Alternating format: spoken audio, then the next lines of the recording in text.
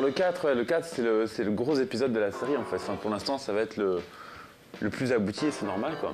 En fait, c'était déjà une mécanique assez huilée, on savait qu'on allait faire un 4 manifestement. On a changé deux trois petites choses, des personnes qui ont quitté le projet, d'autres qui sont, d'autres qui sont venus. Euh, en gros, c'est surtout un énorme power-up, euh, on va dire, de, de ce qu'on avait déjà. Donc on est parti sur le 4 euh, aussi avec l'idée euh, que le scénario euh, quittait la partie un peu euh, routinière du Sentai pour euh, partir vers la fin. Quoi. Pour terminer France 5, on a voulu faire un épisode en deux parties.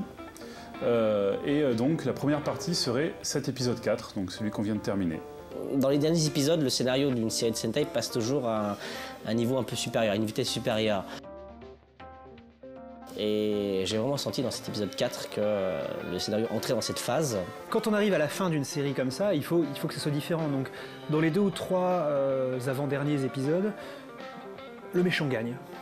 Et bon, bah, on voit les amorces dans cet épisode, euh, les amorces qui vont montrer que les choses importantes qui se déroulent dans l'histoire et les, euh, les problèmes vont se résoudre euh, d'ici peu, quoi. Et puis comme en plus on a acquis une petite expérience au fil des trois épisodes, bah, ça permet de faire quelque chose un peu nouveau. Si on avait fait encore deux épisodes autour d'un personnage et d'une histoire normale, ça aurait été peut-être moins enrichissant. Perçons les secrets du Sentai avec aujourd'hui les bottes, les gants.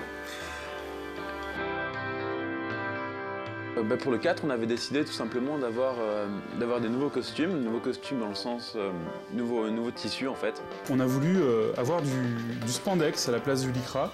Donc le spandex, c'est le tissu euh, qu'ils utilisent au Japon pour faire les Sentai. Alors, le spandex rend mieux que le lycra parce que déjà du fait qu'il n'est pas élastique dans les deux sens, euh, on peut se permettre de faire certaines coupes. C'est plus solide, le tissu est plus épais, mais c'est vraiment beaucoup plus brillant que le, que le, que le lycra.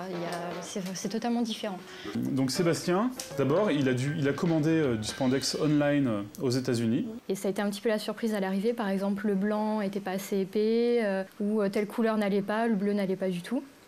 Donc on a profité que Thomas partait au Japon pour ramener du spandex du Japon. Et euh, donc voilà, donc la- ma, ma grosse mission c'était de trouver le spandex one way au Japon. Et ce n'est pas une chose facile, et donc j'avais pour ça euh, un acolyte, à savoir euh, Blue Son travail c'est de faire des shows Sentai euh, en live, et euh, donc il connaît, il connaît bien le rayon. Et c'est lui qui m'a qui m'a conseillé, qui m'a emmené euh, à Shinjuku dans une boutique qui s'appelle Toa. C'est une boutique de, de tissus en fait. On trouve toutes sortes de tissus quoi.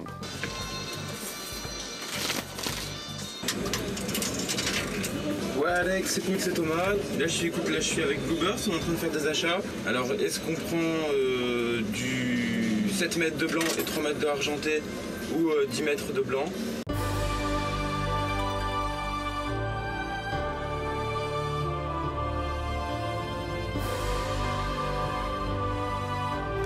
Avec ça, on se sent très puissant. Oui, on a encore refait le costume d'Ecstasy dans l'épisode 4, euh, pour des questions de confort d'abord, parce que c'est très difficile de tourner quand on n'est pas bien dans le costume. Donc on s'est dit, euh, bon, quitte à faire mieux, autant le faire vraiment, donc on l'a totalement repris et tout refait. Ouais, Zakaral, il a, un chouette casque, donc j'avais juré en fait qu'après les six casques, je ferais plus de casque de ma vie. Et euh, j'ai eu le malheur de, de dessiner un casque sur la tête de Jackaral au moment de faire le design, donc il a fallu faire encore un casque. Et euh, bon, bah, ça s'est encore fait dans la douleur, avec beaucoup de ponçage, euh, beaucoup de peinture, euh, l'ancien toxique. euh. Pour Pyrostrum, j'avais envie de faire un strum qui soit moins humanoïde que d'habitude, c'est-à-dire euh, pas euh, un masque et puis un costume. La gradation ascendante au niveau des strums, vraiment, euh, c'est le truc qui m'impressionne le plus parce qu'au début, on avait des trucs un peu tout pourris avec des masques de carnaval. Et là, on avait un vrai strum comme dans les séries avec du caoutchouc et une queue super longue et qui a l'air super machiavélique et tout. Donc on a fabriqué une euh, structure en mousse euh, qui est portée sur les épaules et la tête avance de, de 80 cm par rapport à la tête de l'acteur. L'act- L'acteur ne peut que voir par terre par des petites ouvertures qui ont été faites dans, le- dans la base du cou.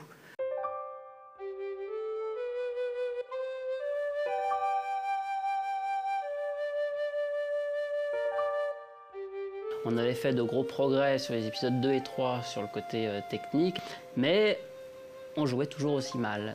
Et c'est entre guillemets dans les premiers reproches qu'on a pu euh, qu'on a pu avoir, c'est eh les gars vous jouez mal. Mais le côté technique, euh, les effets spéciaux, enfin quelque chose qui avait vraiment euh, beaucoup de gueule et un jeu d'acteur qui était euh, très très en dessous. Euh, donc euh, ça me paraissait intéressant de remettre un petit peu à niveau, avoir quelque chose de plus, euh, de plus léché au niveau du jeu. On a eu une préparation euh, avec Dicoman qui nous a préparé euh, presque physiquement, on va dire. J'ai essayé de leur donner quelques techniques euh, au théâtre et essayer de les adapter au, au film, ce qui n'est pas toujours évident parce que on- ça ne fonctionne pas de la même manière. Blue, Black, cherchez s'il y a des blessés. Et toi, tu es mort. Quel que soit ce qu'on joue, que ce soit une grosse farce, que ce soit du Sentai, que ce soit euh, du Corneille ou euh, quoi que ce soit, il y a une dimension de, il y a une dimension de rêve. hein. Il faut faire, il faut créer quelque chose à partir de, à partir de, à partir de rien. Et ça se fait pas comme ça. Je pense qu'il y a vraiment un gros travail de création et euh, voilà, même, avec un profil psychologique simple hein, qui est effectivement celui du héros de Sentai, il y a quand même quelque chose à faire sortir. Moi, ça me paraissait intéressant. Et il est très très exigeant vis-à-vis de nous euh, pour qu'on progresse le mieux possible. Donc euh, effectivement, il est un peu, un peu dur avec nous. Oui. Ah oui. Oui lui. oui. Non Et il tergiverse pas, il dit t'es assez nul, il faut que tu refasses. Non, tu- tu- c'est pas comme ça que tu claques une portière. Je veux plus de. Déjà, tu mets déjà de la pêche là-dedans, dans ce geste-là. On donne tout ce qu'on a et ensuite ils nous regardent en disant Hum, c'est nul, recommence. Et oui, ces petits scouts se sont fait engueuler par Dico. Eux aussi, ils ont peur maintenant. Je sais engueuler les autres et ça, c'est parfait pour un, pour un tournage. De toute façon, c'est ça le travail du directeur d'acteur, c'est de dire non, ça, ça va pas. Non, c'est cool. Il va péter la fesse. C'est pas grave. Tout le monde dit oui, Dick Oman, euh, il a apporté euh, à France 5 un meilleur jeu d'acteur. Ben moi, il m'a apporté de me libérer les mains. J'avais les mains libres pour vraiment me concentrer sur la technique et je pense que ça se ressent. Le film est plus léché euh, au niveau des, des- des cadres, des lumières, des mouvements de caméra. Il y, a- il y a un meilleur travail et ça, c'est grâce à lui aussi. Et toi, qui es-tu? Je suis Zakaral, prince héritier de l'Empire Lexos. Euh, en, fin, en fin de saison, dans les Sentai, il y a toujours euh, un super grand méchant qui déboule pour, euh, mettre un- pour euh, remettre les pendules à l'heure avec les autres généraux. Patrick Giordano, c'est celui qui joue, euh, qui joue Zakaral dans le film. C'est un fou, euh, d'où son pseudo euh, lorsqu'il était dans la presse, Matt le Fou. Il est passé à Amstrad 100%, à Player One, à Game One. Il a fait Game Production, il a fait de la BD, il a même fait des groupes de rock.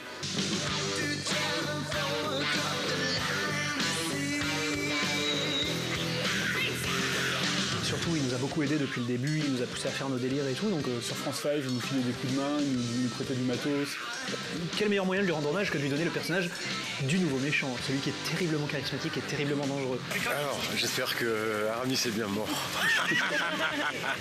Et, et en même temps, quand il prend ses petits yeux fous, on a vraiment l'impression qu'il a l'air d'un psychopathe. Euh, J'adore les méchants dans le Sentai. Euh, ils sont toujours bien, les filles euh, un peu sexy, tout ça. Je trouve vraiment euh, les costumes, c'est un peu. les gens vont trouver ça kitsch, mais moi je marche, j'aime bien Kiss, j'aime bien tous les trucs comme ça. C'est ce que j'aime bien dans le Sentai, quoi. C'est que c'est ça, à fond dans le truc. J'aime pas trop faire l'acteur, mais bon. En même temps j'ai rigolé, puis c'est. ça m'a touché quoi, parce que j'a- j'adore ça et j'adorais le 1, le 2, le 3, l'évolution en plus. Mais dès le 1, euh, j'ai aimé quoi. Meilleur soldat D'ailleurs, ces stratégies alambiquées n'ont que trop duré. Je propose une éradication pure et simple du problème.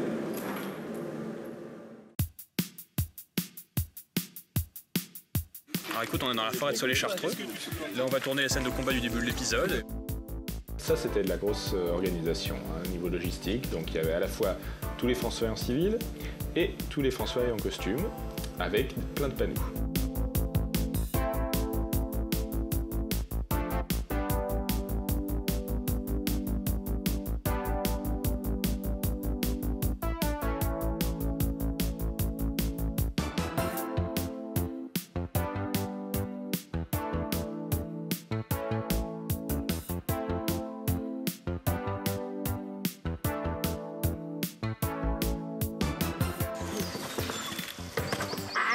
C'est vraiment une de mes scènes préférées. Elle a vraiment, ce- euh, vraiment le, le goût du Sentai. Je crois que c'est ce qu'on a fait de plus complexe et de plus complet euh, d'un point de vue combat Sentai. On a répété euh, des, des patterns, on les a fait euh, 50 fois s'il le fallait pour que le résultat soit bon.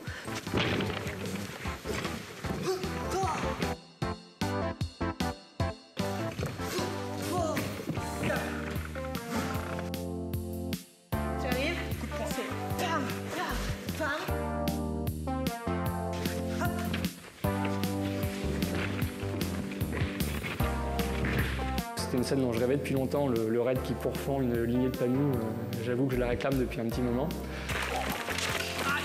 Ah la vache Malencontreusement, l'épée a heurté mon doigt et s'est cassée sur mon doigt. Ah ouais, bah, qu'est-ce qui tape des panneaux avec l'épée aussi Et euh, l'épée s'est cassée quoi. Bah, C'était le, la matière, le matériau était pas terrible. Donc euh, bon, on a, on a dû garder une scène qui avait, euh, qui était pas trop mal, mais on n'a pas pu en faire autant qu'on voulait. Euh, Gavan, qui était sous le, costume, en fait, euh, voyait pas grand-chose. Et quand il est arrivé vers le panou, donc c'était moi le panou, je devais partir en salto arrière sur l'hypercute, et en fait il m'a marché sur le pied au moment où j'ai déclenché mon salto arrière. Ce qui fait que j'ai eu une bonne petite peur, parce que démarrage en salto arrière, arrêté en plein milieu de la rotation, et grosse chute sur le dos, donc j'ai eu de la chance qu'il n'y ait pas eu de cailloux en dessous. Non, non, c'est bon, c'est pied. Comment dire, chaque, chaque personnage en fait a son, a son style propre, et ça aussi c'est très caractéristique du Sentai, on l'avait pas forcément euh, de manière aussi marquée euh, précédemment. En regardant en fait les Sentai, on se- enfin dans les séries, on remarque qu'ils ils accentuent euh, juste à la fin, mais c'est plus une expression corporelle que, que de la tête. Bien compris. C'est juste un petit mouvement comme ça et très sec. C'est pas bien compris comme ça. euh, qui faisait un peu exagéré dans le 2 ou dans le premier par exemple. Tous les week-ends, je regardais du, du Weekender avec, euh, avec Tianan. Et on faisait des arrêts sur image en disant Ah, regarde, là, à ce moment-là, la surprise, ça se bouge comme ça, ça se joue comme ça.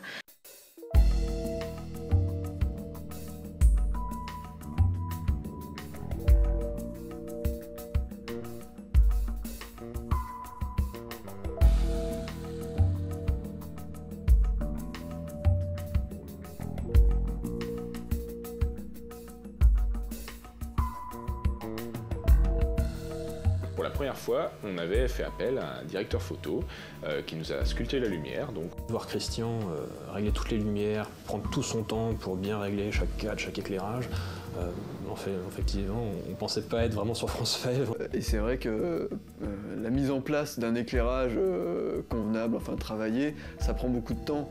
Alors que moi, j'arrive, je mets ma perche, bon, tout de suite, c'est c'est parfait. Allez, allez, prof. Bonne nuit de sommeil, vous serez d'aplomb. Pour ce tournage-là, on était dans les locaux qui nous ont été prêtés aimablement par Chinkel. Euh, et donc il fallait euh, bien sûr faire attention parce que c'était des locaux qui étaient tout neufs. Et euh, Black Beaujolais a fait donc une belle connerie, on peut appeler ça comme ça. Il est rentré dans la salle après avoir marché dans une crotte de chien. Et personne ne s'en est rendu compte, sauf à un moment, quelqu'un a dit Mais ça pue ici, qu'est-ce qui se passe? On a rallumé les lumières, on s'est rendu compte que la moquette était maculée de crotte de chien. Et donc il a fallu qu'on nettoie tout à 2h du matin. Quelle merde. Voilà. Ça aller. Ensuite, pour le QG des méchants, on est allé en- encore une fois au studio Shinkel qui, nous ont encore gentiment euh, prêté le- leur grande salle. Donc encore merci à eux. C'était euh, c'était un peu bizarre quand même parce qu'on euh, on est dans un grand studio et puis il y a un drap vert qui est tendu derrière nous euh, où on sait qu'il va y avoir des choses incrustées. Euh, on a un peu du mal à s'imaginer à quoi ça va ressembler au final. On aura un côté où on va tourner ici et l'autre côté où on va tourner le, le passage conventionnel autour du, du trône. Il y a un verre, vous voyez, sous les cheveux. Et puis on remonte tous les cheveux autour. On attache. Et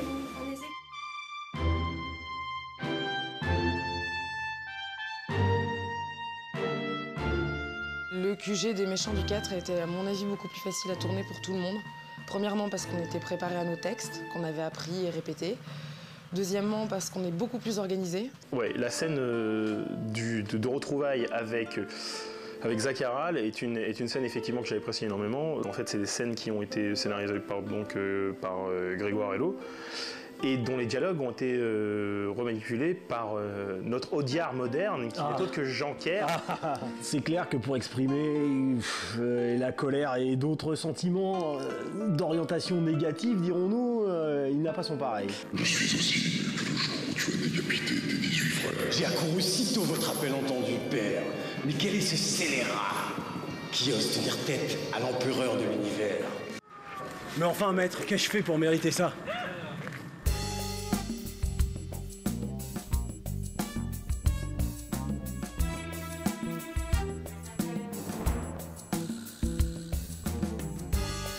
La scène où Pink euh, infiltre, euh, infiltre la base Lexos. Ça, c'est vraiment un hommage à, à Gaban, donc XOR. Euh, c'est quelque chose qu'on voit dans la série avec Oba Kenji qui, s'infiltre dans les bases des Cerex. Et Greg l'a mis dans le scénario vraiment comme un hommage. Et moi, je l'ai tourné comme un hommage. Et Yannick, quand il a fait la musique, il a fait un hommage à XOR aussi.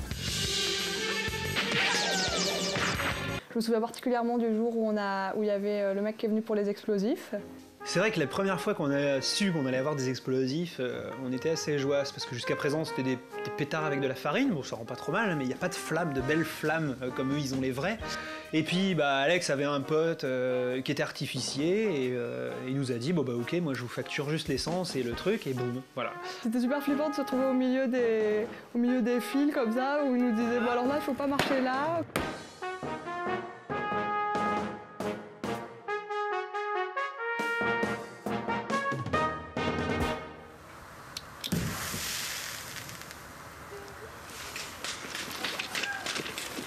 Ça t'a plu, Alex Ouais.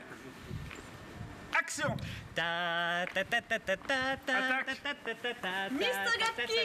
Le Stihenge, c'est une, euh, c'est essentiellement une, une technique qui est associée aux personnages féminins des Sentai, euh, qui consiste à, à porter successivement différents euh, costumes pour, euh, on va dire plutôt dérouter l'adversaire.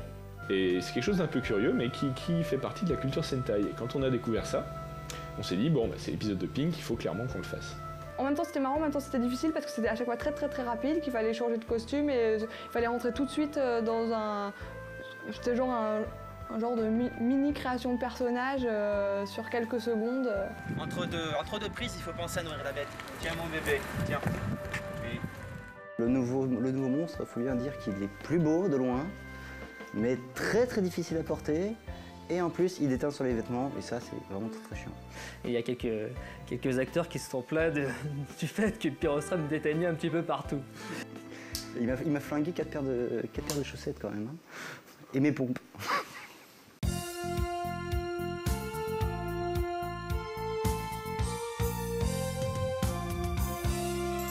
Bah, moi, je garde un bon souvenir euh, du tournage sur le campus euh, de la fac, où en fait c'est l'apparition de, de Zakaral. C'était relativement calme. Il n'y avait pas de, de, de son parasite, euh, pas trop d'avions, pas trop de voitures, pas trop de gens. Alors, ça se passe bien? On m'avait pas dit que les panneaux ils se faisaient toujours niquer. hein. Bon, moi, le costume, je passe pas inaperçu, quoi. Donc, euh, quand j'avais le costume, en plus, avec la chaîne et le monstre attaché, qui courait derrière, et derrière, t'as des gamins qui passent et qui, euh, qui se demandent, bon, même on leur dit, euh, faites moins de bruit, euh, ils hallucinent, quoi. Donc ça, c'est rigolo aussi. Bon. Ils se sont enfuis comme des lâches. Alex m'a demandé de courir vers lui.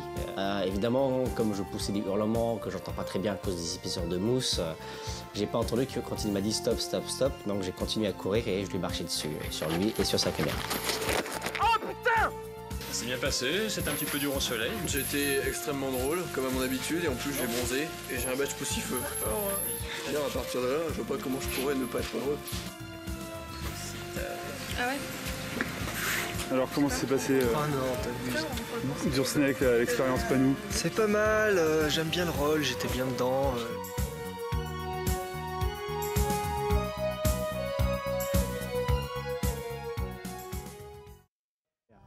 Allez commencer à faire vos grands mouvements de bras et me sauter dessus.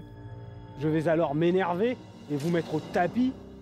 Puis, au moment de fléchir, vous allez unir vos forces et me vaincre une fois de plus.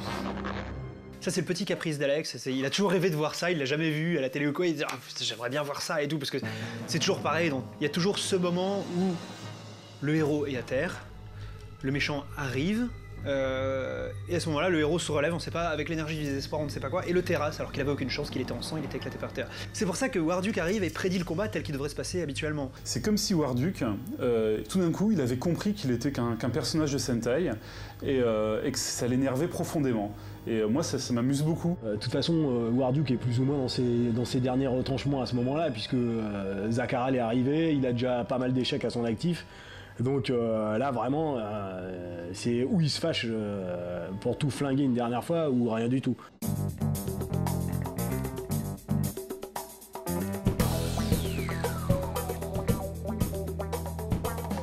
Tout naturellement, c'est venu. Bon, moi, j'aime le catch. Voilà, ce n'est plus un secret à présent.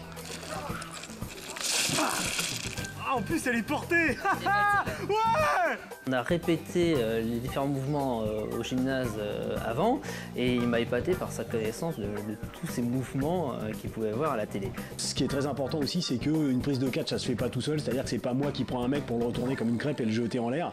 Si le gars en face ne comprend pas ce qu'on va faire, on, on- on va pas y arriver. Donc la confiance, j'avais confiance en lui, donc c'est bon, j'y suis allé. Mais c'est vrai qu'il y avait toujours le, le petit stress là, on se dit oulala, là, là, là, si jamais ça, ça marche pas, il va y avoir de la casse. Je connais pas l'enchaînement, donc on verra bien. toi, j'en suis sûr, tu vas te faire C'est peut-être à moi. Dans ces cas-là, ça veut dire que, je vais avoir mal.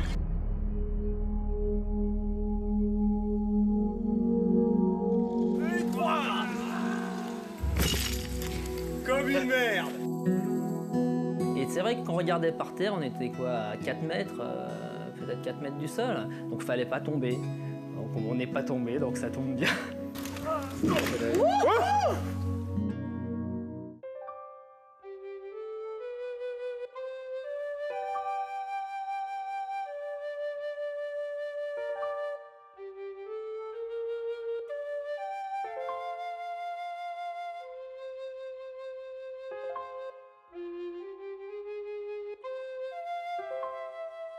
Quoi On s'est aperçu que j'avais un pull à col roulé après avoir euh, maquillé et mis la perruque, donc on va. Ah la merde.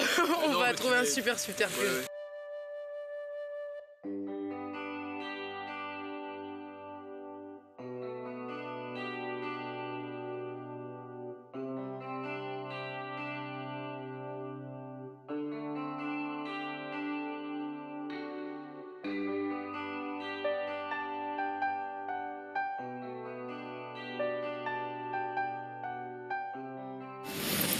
Ah, j'ai moins froid et en plus j'ai la classe.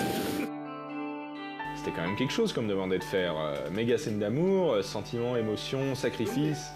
Euh, moi qui n'ai pas de formation d'acteur, comment est-ce que je vais faire ça? Euh, Bon, là encore, Dico a été euh, vraiment le sauveur. C'est c'est trop, c'est too much. Comme en vrai. Voilà, vous ne serez pas déçus. Sophie, je t'aime. C'est vrai que là, c'est c'est un cas où on s'est dit, bah, on va jusqu'au bout. Voilà. On, on le fait vraiment, euh, même si après ça va être la honte. euh, Et là, voilà, dans le 4, on était dramatiquement énorme. Ce qui fait que ce n'est plus dramatique, c'est c'est ridicule, mais c'est super. Euh, donc c'était à la fois intéressant, difficile. On a eu des conditions de tournage qui étaient, euh, qui étaient vraiment euh, pénibles parce qu'il faisait euh, moins 4 degrés. Et euh, voilà. Quand on dit aux acteurs, mais si mettez-y de l'intention, euh, qu'ils sont bleus, euh, bleus de froid, c'est c'est pas toujours évident. Je pense que ça se ressent peut-être un peu dans le jeu parce que quand on se gêne, on est moins détendu et euh, Quand il fait 0 degré et qu'il faut se mettre en condition pour tourner, euh, c'est super difficile, mais on se motive. Puis il y a tout le monde autour qui est hyper motivé, donc euh, ça finit par se faire. Et puis au bout de quelques minutes, on est dans le personnage, dans la scène, dans. c'est fini, Ecstasy. Euh, demain, ce sera, ce sera Sophie. euh. Tiens Ah, si j'avais su Tiens Nous sommes le 17 janvier 2004 et nous sommes en train de faire euh, du doublage. Maro, paltoquet. Alors l'intérêt de venir ici, c'est que bon, euh, à part les facilités euh, pour mettre plein de personnes, c'est que toutes les salles sont super insonorisées et prévues Ah pour qu'on puisse avoir euh, une ambiance sonore euh, très très clean. Ça a été infernal, on avait en plus peu de temps, il y avait des problèmes, techniques, etc. Et je voyais pas comment on s'en sortait, c'est vrai qu'à la fin, je suis bon allez, c'est pas grave. Vas-y, dis ton truc n'importe comment. C'est donc ça Les tout-puissants France 5 Professeur, nous avons été touchés Margarine, estimation des dégâts C'est la fin Il y a, il y a plein, de, plein de nouvelles choses, plein de collaborations avec d'autres personnes. Enfin, je parle en l'occurrence des romanesques qui font une chanson. Voici, ma cours de terme, vous voici. Tadam, tadam, tadam, tadam, tadam. Les romanesques, c'est un, duo de, chanteurs japonais qui se produit dans des cabarets en France. Et euh, bah, moi j'avais beaucoup aimé leur univers et euh, j'aimais bien leur musique aussi. Donc euh, quand il, a fallu trouver une BGM pour la scène finale, bah, j'ai eu envie de leur demander euh, si, si voulaient bien nous faire une petite musique, une, chanson pour cette scène-là, et ils l'ont fait, et, voilà, ça donne ça. Moi, je suis très content d'avoir une espèce de, de- de ton un peu particulier sur cette scène romantique. Il y a aussi un maquettiste qui va faire, qui, un maquettiste professionnel qui fait les, euh, qui a fait le, le vaisseau de l'Exos. On avait d'abord fait des, essais en 3D. Il y avait Aurélien qui avait fait un, très beau modèle 3D du vaisseau à partir des designs de Gavan. Malheureusement, euh, le modèle, une fois intégré dans l'image réelle, euh, passait mal. Ça, faisait vraiment image de synthèse. On a donc décidé de, faire une maquette et on a rencontré euh, Natsusaka qui, lui, est un professionnel de la maquette. Il a accepté de nous faire une maquette gratuitement pour France 5, très gentiment.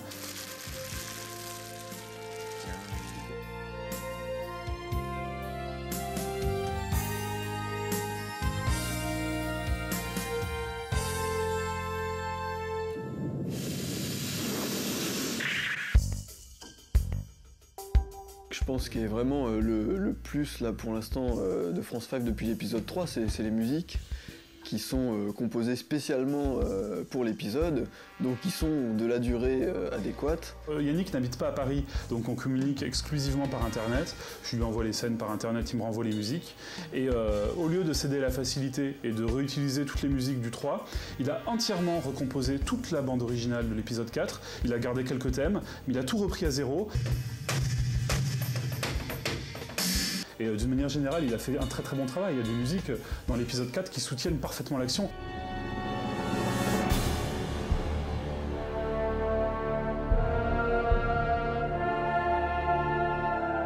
On a eu une grosse, grosse surprise. Après l'épisode 3, on a été contacté par Akira Kushida, qui est un chanteur très connu au Japon. Il a chanté XOR et ses suites, il a chanté Muscleman, et il nous a proposé de nous faire un générique pour France 5. Ça nous laisse sans voix sur le moment, parce qu'on se dit, euh, quand même, quelqu'un comme ça, il a d'autres choses à faire, euh, et il fait une chanson pour nous. Ben, merci. そうですねあのフランス行ったことあるんでそれとあのフランス5のあの、まあ、映像前のを見てますからその次にああこれであの他のオープニングの曲聞いたんですねあじゃあ俺もオープニング歌いたいと、えーそういう形で考えてましたね。別にそのノーギャラとかそんなの全然関係ない、まあ、そういう歌作りたいっていうのはもうずっとあったんで、うん、でましてあのこういうヒーローもの作ったのは初めてなんですね自分でさあの作詞作曲。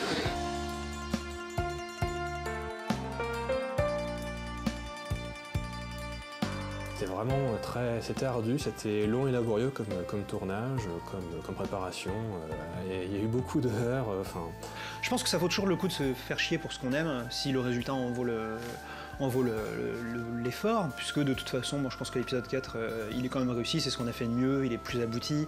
D'habitude, quand on termine France 5, un épisode de France 5, il y a vraiment un gros décalage en- entre ce qu'on espérait, ce qu'on imaginait et, et ce qu'on obtient réellement. Là, avec France 5 4, le décalage, il, il se réduit, quoi. C'est-à-dire qu'on s'approche vraiment plus de ce qu'on... C'est pas encore exactement ce qu'on voulait, mais on s'approche. Moi, il me semble qu'il y a eu euh, un progrès.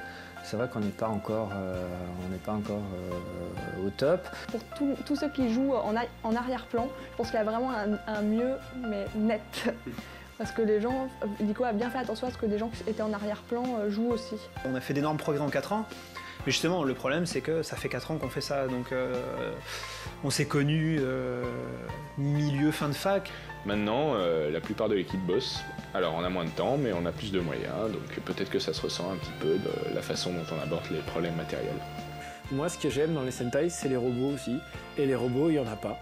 Et euh, j'ai vraiment lutté. Alors, faut savoir que j'ai lutté très très fort pour qu'il y ait des robots. Quand les gens pensent amateur, ils se disent c'est le gros foutoir, euh, tout le monde fait n'importe quoi, et en fait là c'est super sérieux, c'est quand même assez bien organisé. Moi, je suis très déçu qu'il n'y ait pas de robots. Vraiment. euh, Je pensais que ce serait vachement plus le bordel sur les tournages, qu'il y aurait vachement moins de sérieux de la part euh, en particulier des acteurs. Et euh, voilà. Mais finalement, euh, moi je trouvais que tout s'était super bien déroulé, qu'on travaillait euh, bien, efficacement. Les gens sont tous euh, très concernés, même les personnes qui font les costumes, euh, tout le monde est, est vraiment très très concerné et concentré sur le tournage, ça euh, c'est ce qui m'a marqué. Euh, Personnellement, j'éprouve une grande satisfaction à jouer dans France 5 en tant que cascadeur parce que euh, déjà par rapport à la réaction des gens quand ils voient les épisodes, euh, je sais que j'ai ma place et que je sers à quelque chose. Hein? Bonjour, je m'appelle Aurélien et je suis cascadeur. C'est vrai que c'était éprouvant au niveau, euh, au niveau du temps demandé, au niveau des exigences qu'on avait. Et bon, bah, c'est encore loin d'être parfait, hein, mais euh, je pense que c'est mieux quand même. France 5 aurait jamais pu aboutir sans, Sans y ait des, sans, de- sans des gens de bonne volonté qui étaient prêts à s'emmerder euh, et aller, euh, euh, aller, aller sacrifier des, des- des- des- des instants de leur vie, Du de temps, l'argent. euh, euh, Normalement, il y a un moment où bon, ça va quoi. On travaille, on passe à autre chose, on n'a plus le temps, euh, on a d'autres centres d'activité quoi. Et ce, et ce truc-là, France Fest, c'est un peu un miracle quelque part que ça, que ça a pu, pu durer autant quoi. Ça a duré 4 ans, ça, ça, je trouve ça incroyable.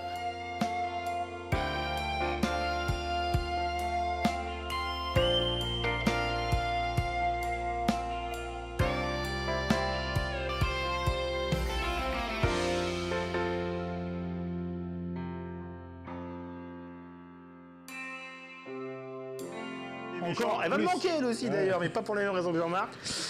Mais euh, Tu disais pas ça hier soir. tu remettras ton costume en cuir.